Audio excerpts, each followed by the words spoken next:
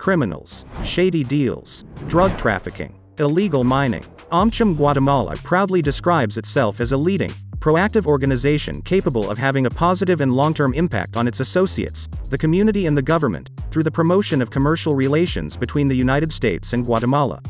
Its executive direction involves helping its members solve problems, provide support to meet with government officials, meet with the United States Embassy to discuss and find solutions to various problems.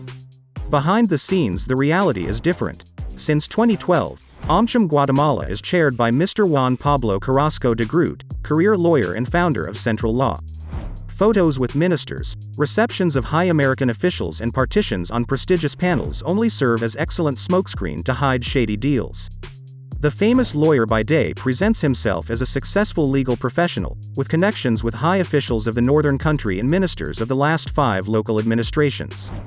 At night, visitors to a prestigious bar in Zone 14 will be able to see Carrasco surrounded by beautiful Colombian models and with a few extra drinks.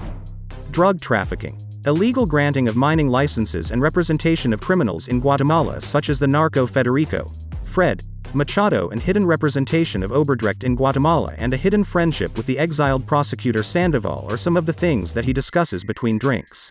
These days the truth will come out. We will see how Uncle Sam receives the news that his representative in the southern country is the number one fixer of international criminals.